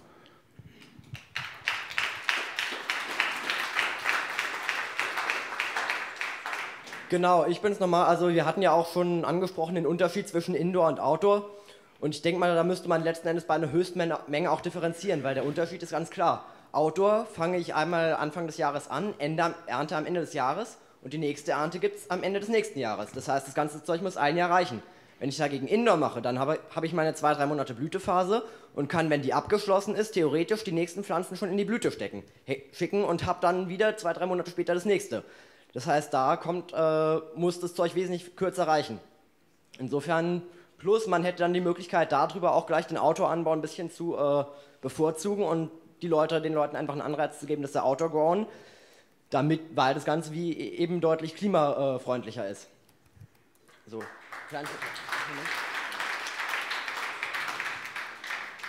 Dann Thema Höchstmengen, wie genau regelt man das? Ist ja auch äh, fachlich dann unterschiedlich. Indoor ist im Grunde genommen relativ egal, wie viele Pflanzen ich habe. Das geht da eher um die Licht, äh, die Wattzahl und die äh, Quadratmeter. Das heißt, da könnte man meinetwegen was machen, eine maximale Fläche mit einer maximalen Wattzahl, dass das in beide Richtungen grob gedeckelt ist. Wattzahl, um natürlich auch klar, man kann auch 1000 äh, Watt auf einen Quadratmeter ballern, wird dann aber relativ ineffizient fürs Klima und äh, bringt nicht so viel. Das heißt, man sagt meinetwegen, wie viel auch immer, ist ja egal, dass man auf jeden Fall das, was da realistisch bei rauskommt, als Indoor-Grower zu Hause haben darf, plus die nächsten Pflanzen, die noch in der Blüte sind. Und sobald die geerntet sind, muss das Ganze natürlich dann, äh, also trockene Sachen sind auf die Berechnungsmenge äh, relevant, aber man darf noch was Richtiges, äh, was am Wachsen haben. Genau. Hm? Am Outdoor dagegen ist einfach die Pflanzenanzahl die Frage. Da äh, genau, während Indoor, wie gesagt, äh, kann man einen Quadratmeter voll mit 20 Stecklingen ballern oder eine Pflanze züchten. Kommt am Ende ähnlich viel raus. Outdoor hat man natürlich, äh, wenn man es rechtzeitig hm. vorbereitet, schön toppt und so, kann man da durchaus ein Kilo pro Pflanze ernten. Das Jonas, heißt, zu der Frage der Pflanzenzahlen und, und der sonstigen Begrenzungen kommen wir gleich noch. Wir reden Ach. gerade über die Lagermenge quasi, ne, die, die zu Hause gelagert werden kann. Die anderen Aspekte Aber werden wir gleich noch betreuen. Das hängt ja auch davon ab, wie du es genau machst. Also würde ich sagen, Outdoor und Indoor muss man schon differenzieren an dem Punkt. So, die letzte Wortmeldung hier vorne noch. Äh, ja, mit dem Hemd, genau. Und danach gehen wir in die Abstimmung. Ja, äh, ich bin der Tobias äh, aus Dortmund äh, und ähm, ich meine, es geht ja schon alles ziemlich ineinander über. Ähm, ich, ich, denke auch da, man muss so ein bisschen die Realpolitik leider im Auge behalten. Ähm, ich höre hier sehr viele Ideologien, ideologische Ansätze, die schön sind, aber leider nicht real. Ja, also ich denke, man sollte wirklich beachten, dass man dem Gesetzgeber eine, ein niederschwelliges Angebot macht. Ja? Dass, dass es nicht zu kompliziert wird, dass der Eigenanbau möglich ist, nach Möglichkeit Outdoor bevorzugen. Und diese ganzen Grenzwerte würde ich, man muss es auf irgendetwas reduzieren. Vielleicht auf die Pflanzenmenge, das, ich habe ja gerade gehört, es kommt schon, ähm, weil, weil alles andere wird schwierig. Vier Pflanzen, ob die jetzt Outdoor oder Indoor stehen, ist egal. Dann ist die, die, die Obermenge egal. Oder man siedelt sich irgendwo bei einem halben Kilo oder Kilo an, da könnte man mit auskommen. Aber, aber ich möchte nochmal den Fokus so ein bisschen auf lenken, dass es halt realistisch sein muss und dass es nicht überreguliert wird, weil da hat der Gesetzgeber definitiv keinen Bock drauf. Mhm. Gut, vielen Dank für die vielen tollen äh, Inputs. Wir würden jetzt die Abstimmung starten. Henry schaltet das jetzt frei und dann könnt ihr auf der bereits bekannten Seite mit den hier angezeigten Codes ähm, über diese Frage abstimmen. So, haben alle abgestimmt? Wunderbar, dann einmal das Ergebnis bitte.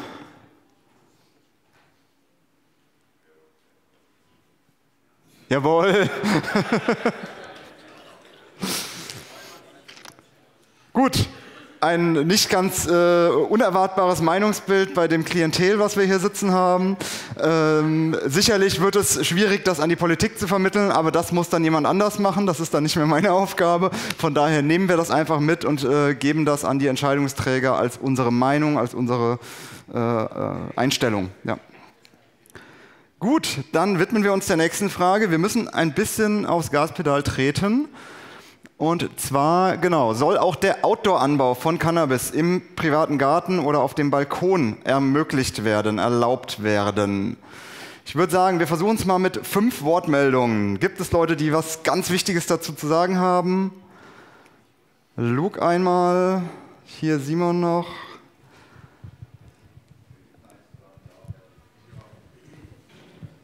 ich vermute auch, wir werden ein relativ klares Bild haben am Ende, aber die Frage ist nicht ganz unwichtig, weil es natürlich ähm, durchaus auch Länder gibt, in denen eben der Anbau im Freien nicht erlaubt ist. So. Ja. Okay ähm, also ganz klares Ja. Äh, ich möchte allerdings noch gerne anfügen, nicht jeder, gerade in den Großstädten, hat einen eigenen Balkon oder ein helles Zimmer. Und ich halte auch den Eigenanbau nicht als äh, Ideallösung für jeden, der gerne Cannabis konsumiert. Äh, aus dem Grund, dass, äh, wie gesagt, Landwirte, Social Clubs, Patienten, ähm, ganz andere, andere Länder machen es vor, Möglichkeiten gefunden haben, hochwertiges und vor allen Dingen ähm, günstiges Cannabis herzustellen. Und äh, nicht jeder, der Cannabis gerne konsumiert, will es auch gleichzeitig growen. Deswegen wichtig, es äh, auf dem Balkon machen zu dürfen. Aber ich glaube, wir müssen die, äh, die Thematik Eigenanbau noch wesentlich weiterdenken. Mhm. Rechts und dann. Hallo, ich bin Simon und ich frage mich, warum wir überhaupt unterscheiden. Es ist beides im privaten Rahmen, beides ist dann in meinen eigenen vier Wänden. Ob das jetzt drin oder draußen ist, macht keinen Unterschied. Dementsprechend, natürlich sollte man auch Outdoor-Growing machen, gerade auch im Sinne der Umwelt. Hm. Naja, es ist eben nicht in den eigenen vier Wänden, wenn es im Garten ist. Das ist schon nochmal ein Unterschied ne? und es ermöglicht theoretisch den Zugriff von Dritten natürlich eher, als wenn es hinter geschlossenen Türen ist. Genau, ja, hier einmal die Reihe durch. Hallo, bin der Klaus, äh, ansässig in Köln und in Luxemburg. In Luxemburg ist es dieses Jahr äh, ja, erlaubt, vier Pflanzen anzubauen. Wir haben jetzt auch äh, vier Pflanzen äh, auf dem Balkon. Sehr gut zu sehen. Mir hat vorhin Mir hat vorhin allerdings ein Kollege gesagt, dass es äh, nicht erlaubt ist, dass die sichtbar sind. Jetzt weiß ich nicht, ob da zwischen den Ländern ein Unterschied gemacht wird. Es wäre interessant, da hat der Micha bestimmt was zu, zu sagen, wie es in Uruguay läuft. Gibt es denn jetzt nicht äh, beste Erfahrungen aus anderen Ländern bezüglich Eigenanbau? Dann haben wir das Thema Nachhaltigkeit gehabt. Ich glaube, es ist ganz wichtig, äh, hier bei äh, Eigenanbau auf dem Balkon oder im Garten eindeutiges Ja, weil es natürlich auch viel nachhaltiger ist.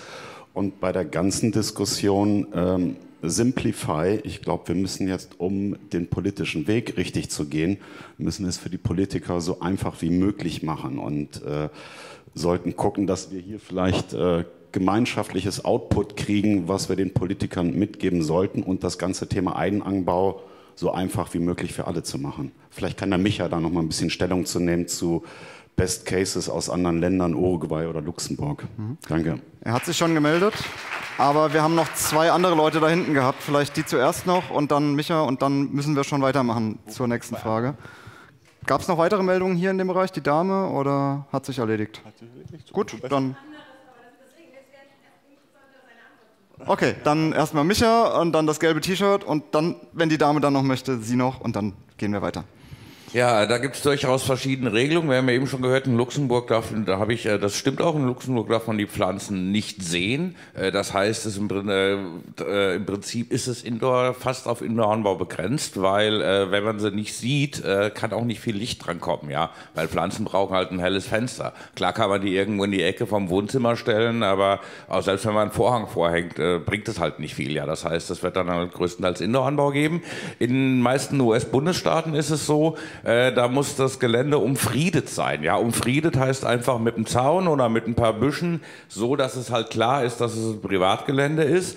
Äh, dann gibt es noch, äh, sage ich mal, Länder, die wollen das äh, so wie in Spanien, dass es nicht sichtbar ist, aber Outdoor halt geht, äh, sprich in einem gut abgesicherten Garten, wo halt auch eine Sichtschutzmauer äh, steht. Das ist aber da nicht so genau definiert. Ja, in den Niederlanden ist es so, da ist der Autoanbau nur dann erlaubt erlaubt, wenn er die Nachbarn nicht stört. Ja, das heißt, äh, da gibt es, äh, ist auch, auch, es muss umfriedet sein in den Niederlanden und da dürfen die Nachbarn, weil es ja auch äh, nicht legal, sondern nur toleriert ist, da können die Nachbarn aber dann halt auch sagen, nee, mich stört das, das riecht, das sieht nicht schön aus und in dem Falle können, kommt dann die Polizei und räumt es ab.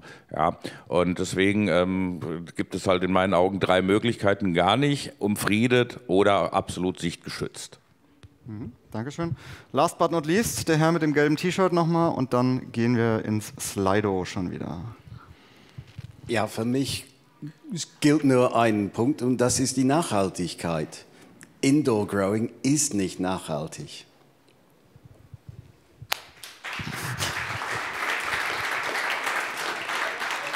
Das ist tatsächlich Eines Windrad hat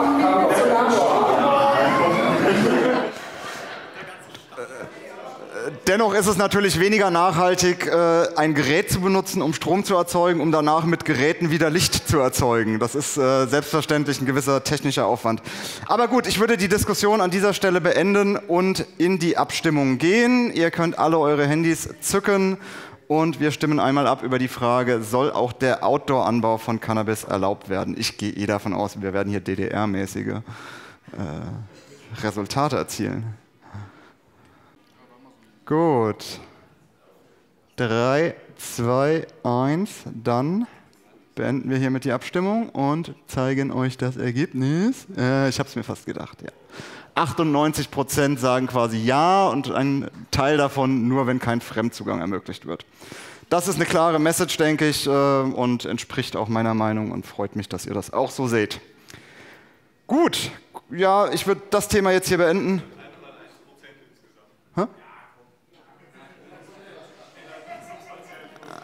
Achso, es sind 101 Prozent insgesamt. Ja gut, das sind statistische Unklarheiten, würde ich mal sagen. Ja. Gut. Die nächste Frage, und das sind im Prinzip drei Fragen, die wir zusammenstellen können. Ähm, nach welchen Kriterien, oder nee, genau, erstmal machen wir die Frage, nach welchem Kriterium soll der Eigenanbau begrenzt werden? Und danach werden wir noch abfragen, wie da jeweils die äh, Kennziffern sein sollen.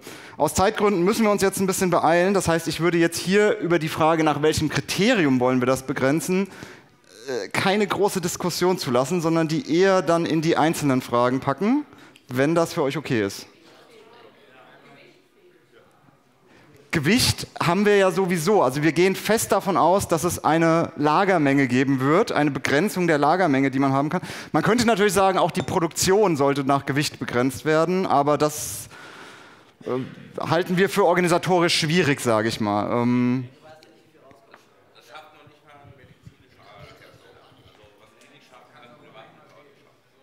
genau.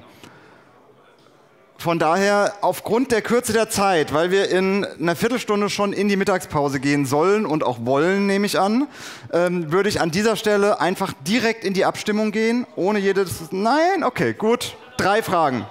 Ich, ich sehe acht Meldungen aktuell. Bitte jetzt mal nur die, denen es ganz wichtig ist. Ja? Einmal da hinten und dann vier hier vorne. Bitte möglichst kurz halten. Danke. Ja, bei der Pflanzenanzahl ist es dann die Pflanzenanzahl, die in Blüte steht oder die gerade am äh, vor der Blüte stehen oder gerade geerntet werden. Das ist die große Frage, Pflanzenanzahl.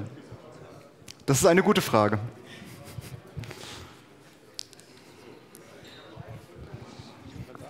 Ja, ja, wir haben acht Meldungen, es wird eher zu lange dauern. ja. Ähm, für mich fehlt dann noch, die, ähm, dass man vielleicht nach Volumen geht. Nach, äh, ich darf zwei Kubikmeter anbauen. Volumen? Ja. Okay.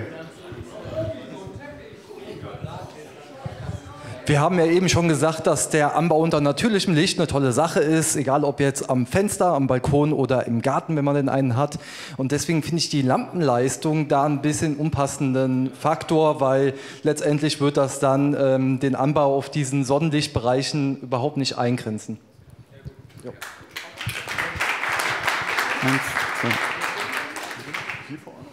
Mhm. Ähm, bei der Lampenleistung würde ich mich dann mich auch anschließen, weil sollen wir jetzt die Sonne begrenzen? Ähm, oder weil ich sage mal so, ob ich mir jetzt eine 300 Watt Lampe da hinstelle oder eine 3000 Watt, ist in der Theorie erstmal egal, weil wenn ich nur eine Pflanze haben will mit einer 3000 Watt, damit ich mehr rauskriege, oder wenn ich fünf Pflanzen habe mit 1000 Watt, das ist Schwachsinn. Ähm, und bei der Abstimmung ist das Problem, dass man nur eins auswählen kann. Okay, das können wir gleich noch ändern, tatsächlich. Ja, okay, gut. Gibt es da jemanden, der da was dagegen hat, dass wir das ändern? Nö, oder? Dass wir mehrere Antworten ermöglichen? Spricht nichts dagegen, wunderbar, werden wir gleich machen. Äh, bitte? Okay, ich, ich, ich übernehme mal. Ich glaube, das funktioniert sonst nicht. Ja. Äh, ich möchte das äh, Gewicht doch noch mal mit einstreuen und zwar an deinem Blickwinkel. Und zwar, wir haben ja schon gesagt, wir haben ja schon zu Hause eine Höchstmenge als Beispiel definiert das kann ja auch das einzige Kriterium werden, dass man über das gar nicht mehr nachdenkt. Also man sagt zu Hause beispielsweise zwei Kilo, sieh zu, dass du das nicht überschreitest. Mhm. Gut, eine allerletzte Meldung noch. Ja, da vorne rote Kappe. Ich würde da einfach äh, zustimmen, weil ob ich jetzt mit, mit einer Pflanze zwei Kilo rauskriege oder mit fünf Pflanzen zwei Kilo rauskriege, ist ja dann im Endeffekt egal. Mhm. Gut, vielen Dank. Jetzt ist die Frage, wie modifizieren wir diese Frage? Wir werden einmal mehrere Antworten ermöglichen und dann sollen wir noch das Thema Gewicht reinbringen. Bitte einmal so machen, wenn ihr dafür seid. Gut. Nein, das war die Lagermenge. Jetzt war der Vorschlag, dass wir Gewicht als Begrenzung der Produktion quasi, dass man sagt, man darf zwei Kilo produzieren pro Jahr. Das kann man natürlich nicht, ja, das kann man nicht überwachen. Das ist vollkommen richtig. Aber es war der Vorschlag aus der Gruppe und von daher nehme ich das einfach hier auf.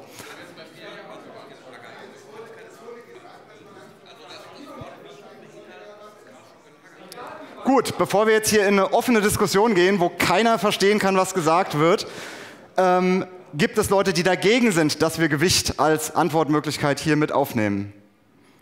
Das sind drei, vier, fünf, sechs. Damit gibt es eine ganz klare Meinung. Wir nehmen Gewicht mit auf als Frage und ermöglichen mehrere Antworten.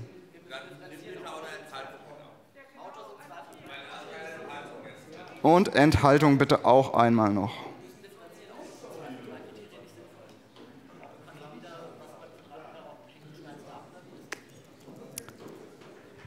Gut, dann würde ich jetzt hier in die Abstimmung gehen, wenn wir gleich fertig sind mit der Fragestellung. Und dann könnt ihr eure Geräte zücken und abstimmen. Nach welchem Kriterium wollen wir den Eigenanbau begrenzen? Unter der Annahme, dass es eine Begrenzung geben wird. Natürlich würden viele von uns sich wünschen, dass es völlig unbegrenzt ist. Quadratmeter Lampenleistung, Pflanzenanzahl, Gewicht oder Enthaltung. Ich enthalte mich, ich kann mich nicht entscheiden. Gibt es noch ein paar Leute, die noch nicht abgestimmt haben?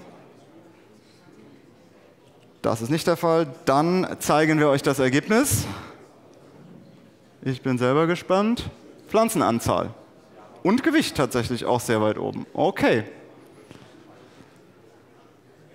Gut, dann gehen wir in die nächsten drei Fragen. Ähm, wir haben jetzt keine Frage fürs Gewicht vorbereitet, äh, weil das jetzt spontan dazugekommen ist. Aber von daher erstmal die nächsten drei Fragen. Und die Diskussion dazu würde ich zusammenfassen. Wir haben noch fünf Minuten Zeit. Wir können fünf Minuten überziehen. Das geht von eurer Ess- und Rauchzeit im Zweifelsfall ab. Aber äh, genau, die nächsten drei Fragen in der Diskussion jetzt erstmal zusammenfassen. Wie hoch soll die Pflanzenanzahl sein? Ähm, wie hoch soll die Quadratmeterbegrenzung sein? Oder wie hoch sollte die äh, Lampenleistungsbegrenzung sein, sofern wir das wollen quasi? Hierzu Wortmeldungen. Möglichst kurz halten, auch hier bitte. Eins, zwei, drei. Dankeschön. Also ich bin der Meinung, dass wir Pflanzenanzahl für draußen am besten anlegen und die Quadratmeterbegrenzung für innen drin, weil draußen werden die Pflanzen auch gerne mal größer, wie wir ja schon vorhin häufiger angesprochen haben. Und auch für innen drin würde ich dann, also für Outdoor immer in der Blüte rechnen. Also ich rechne mit Pflanzen immer in der Blüte. Pflanzen, die nicht in der Blüte sind, bin ich der Meinung, können wir so viele haben, wie wir wollen. So viele Stecklinge, so viele Muttis. Egal. Draußen dann zehn Pflanzen von mir aus. Das ist jetzt eine Bauchentscheidung. Damit sollte man recht, recht gut zurechtkommen. Oder innen drin bis zu zweieinhalb Quadratmeter. Die gängigsten, die gängigsten äh, Pflanzenzeltformen sind entweder 1,20 auf 1,20 oder 1,50 auf 1,50. Und damit wären wir dann bei zwei bis zweieinhalb Quadratmetern, womit man sich recht gut versorgen könnte. Da hat man alle zwei, drei Monate drei Kilo ungefähr oder zwei. Und äh, finde ich, das passt. Also zweieinhalb Quadratmeter, zehn glaube, hier war noch jemand. Nee, okay. Äh, Ich würde gern gleich darauf reagieren, weil wenn du sagst, im Garten zehn Pflanzen, wie willst du dann dich begrenzen auf zwei Kilo im Jahr, die du bunkern kannst? Du bist dagegen, okay, alles klar. Also wenn du mehr als zwei, drei Pflanzen im Garten anbauen kannst, dann kannst du die Obergrenze von der Lagermenge total gleich, also weglassen. Das macht ja dann überhaupt keinen Sinn. Hier vorne war eine Meldung. Hier vorne rechts. Ja, hallo. Ähm, also ähm, eine Sache, die ich zu bedenken finde, ich finde gerade bei einem Eigenbau, Eigenanbau sehr spannend, dass man äh, zwischen so vielen, so vielen Sorten unterscheiden kann. Und äh, wenn man jetzt eine Anzahl auf die Pflanzen begrenzt, dann äh, begrenzt man sich auch selber auf die Varietäten. Also äh, ich muss ja nicht jede Pflanze bis zur, äh, bis zur Blüte aus, also bis, äh, bis zum vollen Ertrag ausreifen. Also ich muss nicht jede Pflanze zwei Kilo dran haben, aber es wäre interessant, 15 Pflanzen von derselben Sorte zu haben und mir davon die beste auszusuchen und die dann möglicherweise fortzuführen. Mhm. Dankeschön.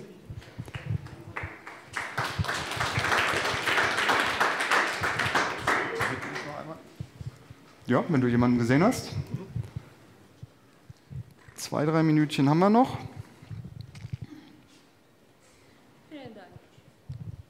Also ich bin persönlich für die ähm, Pflanzenanzahl, weil wir wissen ja, ähm, dass jede Pflanze ein Eigengewicht ähm, bringt, beziehungsweise wenn du eine AK46 züchtest, dann weißt du ungefähr im Schnitt, okay, Indoor wird dir die pro Pflanze vielleicht 360 Gramm abwerfen, draußen allerdings zwei Kilo oder sowas pro Pflanze.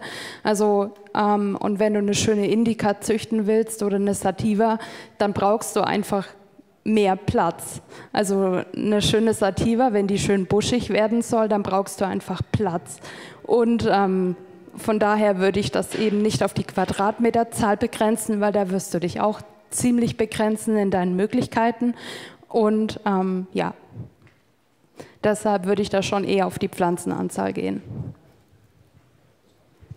Dankeschön. Gibt es noch Wortmeldungen? Ja, in Kürze, genau. Jonas noch. Hier vorne.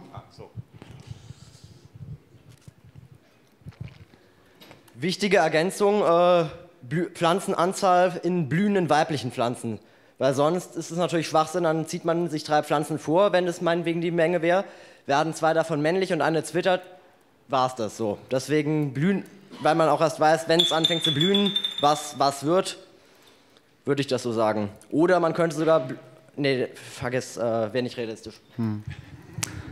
Genau, die Frage kam jetzt mehrmals. Ich gehe auch sehr stark davon aus, dass wir bei den Pflanzen von blühenden Pflanzen sprechen. So wie es ja auch im Cannabis-Kontrollgesetz geschrieben stand, blühende Pflanzen sind das, was es zu regulieren gilt. Nicht blühende Pflanzen sind eigentlich nicht regulierungswürdig.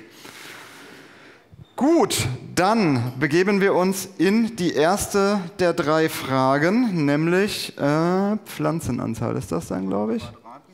Quadratmeter. Quadratmeter ist die erste Frage. Wenn wir davon ausgehen, dass eine Quadratmeterbegrenzung kommt, wie groß hätten wir diese gerne? Wir haben, äh, wir, äh, die Frage nach Outdoor-Anbau war ursprünglich nicht enthalten, möchte ich mal dazu sagen. Die wurde äh, vor kurzer Zeit äh, dort hinzugefügt, von daher ähm, ist das hier jetzt nicht austariert. Im Prinzip ist hier beides gemeint und tatsächlich ist das äh, indifferenziert. Allerdings ist mir auch kein Land bekannt, Micha, vielleicht kannst du mich korrigieren, in dem irgendeine Differenzierung zwischen Outdoor- und Indoor-Anbau gesetzlich stattfindet. Inwiefern? Luxemburg ist de facto nur der Inbauanbau erlaubt. In den Niederlanden wird der Inbauanbau grundsätzlich als kommerzieller Anbau gewertet und nur der Outdoor-Anbau ist überhaupt toleriert. Und da wird schon äh, A unterschieden und B finde ich das halt auch. Äh, genau, aber das sind keine gesetzlichen Regelungen. Ne? Also in den Niederlanden ist das eine Tolerierung.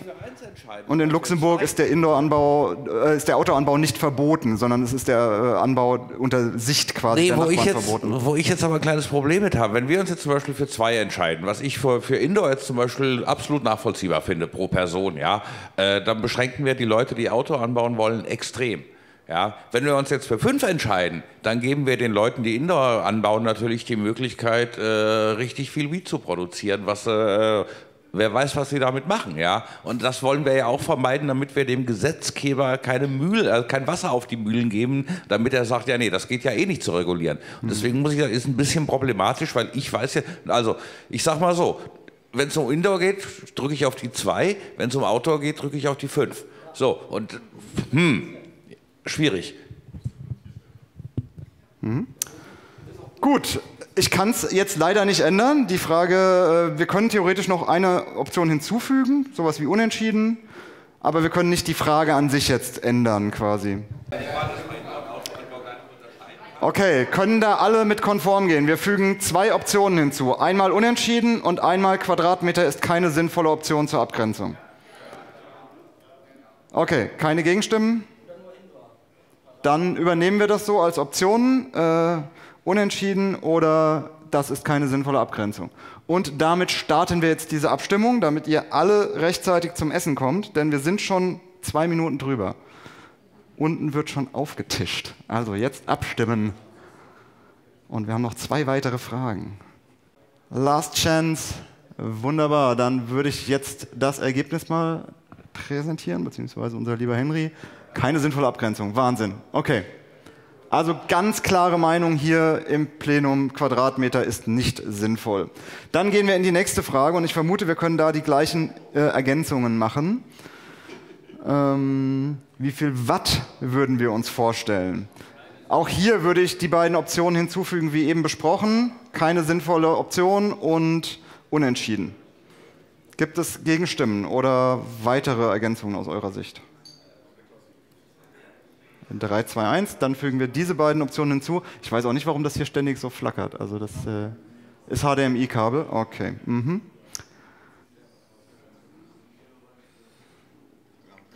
Hast du schon versucht. Naja. Ist drinnen, dann starten wir hier mit dieser Abstimmung. 3, 2, 1. Ich bin gespannt, ob das ähnlich aussieht. Ich persönlich halte ja die Wattzahl. Nein, ich sage jetzt nichts. Ich will ja nichts beeinflussen. Okay. 62 Personen haben abgestimmt. 5, 4, 3, 2, 1.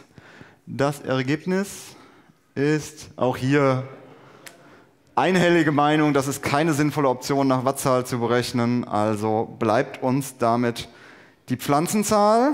Noch als letzte Frage. Wie gesagt, zum Gewicht haben wir jetzt keine Frage vorbereitet. Kriegen wir jetzt auch in der Kürze der Zeit nicht hin. Müssen wir dann äh, irgendwie äh, uns äh, zurechtdenken. Auch hier keine sinnvolle Option als Ergänzung und unentschieden. Wir reden hier nur über weibliche blühende Pflanzen, die also regulierungsbedürftig sind, die rein theoretisch vielleicht irgendjemanden heim machen könnten. Oh mein Gott.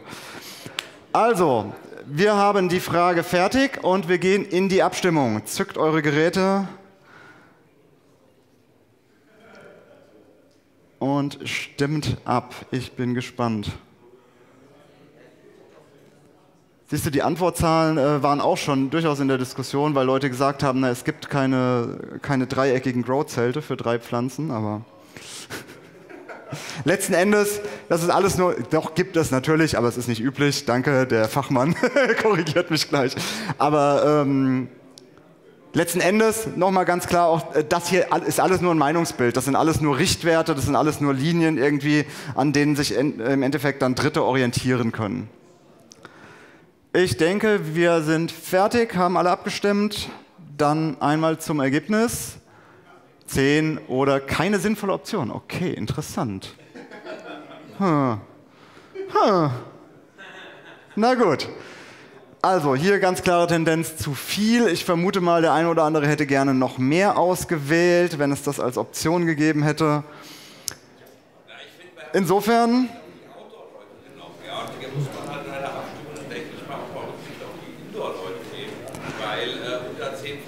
Micha, der Rest der Leute kann dich nicht hören, äh, da wir keine Mikrofone haben. Unten wird gerade leckerstes Essen aufgetischt. Die Smokehouse Lounge ist eröffnet. Ich danke euch allen für euren Input und für euer Dasein, für die rege Beteiligung. Das war super. Habt einen wunderschönen Tag. Genießt diese Konferenz. Und in zwei Jahren äh, machen wir dann hier Stecklinge tauschen und so. Ne? Yeah.